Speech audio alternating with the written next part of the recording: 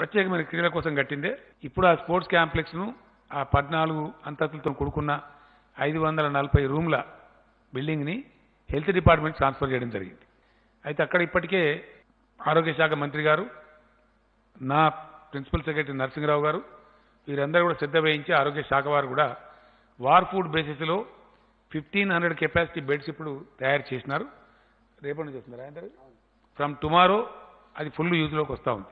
Hundred percent యూజ్లోకి వస్తూ ఉంది. So ప్రస్తుతం అది కోవిడ్ స్పెషల్ హాస్పిటల్ కింద దాన్ని వాడుకుంటాం. మనకు వాడవలసిన అవసరం ఏర్పడితే.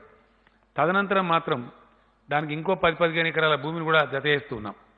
ఎందువల్ల అంటే మనం దానికి అద్భుతమైన ఒక ఆసుపత్రి కింద తయారు చేయాలని నిర్ణయించాం తెలంగాణ రాష్ట్రంలో పాజిటివ్ కేసుల సంఖ్య పెరిగితే తెలంగాణ రాష్ట్రంలో వైద్య ఆరోగ్య శాఖకు దాన్ని నిలువరించేటటువంటి శక్తి సామర్థ్యాలు లేవు.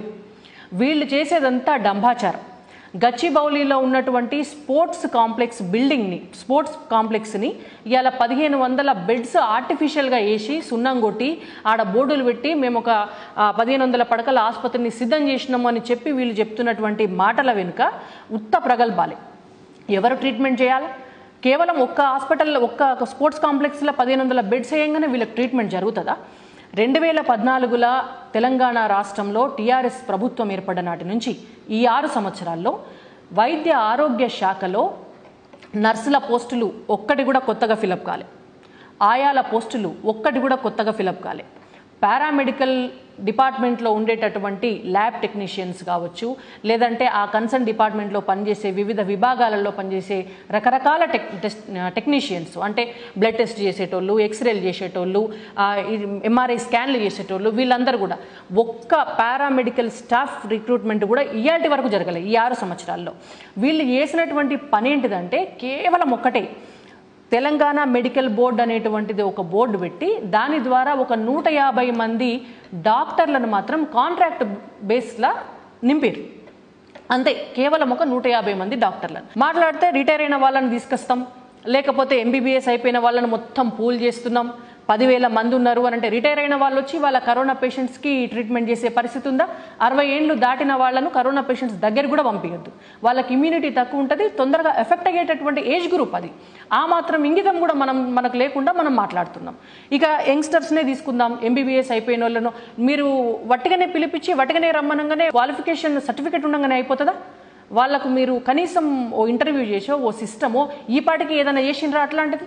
తెలంగాణ ప్రభుత్వం నుంచి కానీ వైద్య ఆరోగ్య శాఖ నుంచి కానీ మరొక interview procedure online interview procedure చేసి కొంతమందిని సెలక్షన్ చేసి పెట్టుకున్నారా? అది కూడా చేయలే. ఇప్పుడున్న పరిస్థితి ప్రకారం మాత్రం ఎవరికి పాజిటివ్ వచ్చినా వాళ్ళు గాంధీ హాస్పిటల్ ఉండాల్సిందే. వాళ్ళు కోటీశ్వర్లైనా లక్షాధికారులైనా ఎట్లయినా సరే ఎవరికి ఎగ్జామ్షన్ లేదు. Everyone shall state Gandhi hospital. ఇవాళ ముఖ్యమంత్రి గారు పదే పదే ఒక మాట అంటుండ్రు. లాస్ట్ టైం ఆయన ప్రెస్ మీట్లో కూడా చెప్పిండ్రు ఎంతటి కోటేశ్వరుడైనా వచ్చి గాంధీ హాస్పిటల్లో వండాలి అని చెప్పినాం లేకపోతే కుదరదని చెప్పినాం. మేమంతా స్ట్రిక్ట్గా కరోనాను కట్టడి చేస్తున్నాం అందరికి ఒక చోటే ఉంచి ఐసోలేషన్ చేస్తున్నాము అని. గాంధీ అవకాన పరిస్థితి ఏందో ముఖ్యమంత్రి గారికి తెలుసా అసలు? గాంధీ దవాఖాన ఆయనకు కంటికి ఆపరేషన్ చేసుకుంటే ఢిల్లీకి పోతాడు. ఆయన ముక్కుకు ఆపరేషన్ చేసుకొని ఏమన్నా అయితే ఢిల్లీకి పోతాడు. ఆయన పిల్లలకో బంధువులకో ఏమన్నా అయితే యశోద దవాఖానలోకి పోతారు. ఎన్నడన్నా గాంధీ దవాఖానలకు వచ్చి గాంధీ దవాఖాన పరిస్థితి ఏందో తెలుసుకుంటే ఆయనకు తెలిసేది. గాంధీ హాస్పిటల్లా ప్రఖ్యాతిగాంచిన గాంధీ దవాఖానా కావచ్చు ఉస్మానియా కావచ్చు ఎంజీఎం కావచ్చు నిమ్స్ కావచ్చు తెలంగాణలో ఉన్నటువంటి పెద్ద ఆసుపత్రులు అలాగే నియోజకవర్గాలలో ఉన్నటువంటి సివిల్ హాస్పిటల్స్. అన్ని హాస్పిటల్స్ పరిస్థితి కూడా ఇవాళ దయనీయంగా ఉంది. ముఖ్యమంత్రి గారు చెప్పే గాంధీ దవాఖానలో పన్నెండు వందల స్టాఫ్ ఉండాలి. ఆయా నుంచి డాక్టర్ దాకా. పన్నెండు వందల స్టాఫ్కి చెప్పుకుంటే సిగ్గుపోతుంది మనకు. ఇవాళ రెండు వందల మంది పర్మనెంట్ ఎంప్లాయీస్ ఉన్నారు. పన్నెండు వందల మందికి రెండు వందల మంది ఉన్నారు.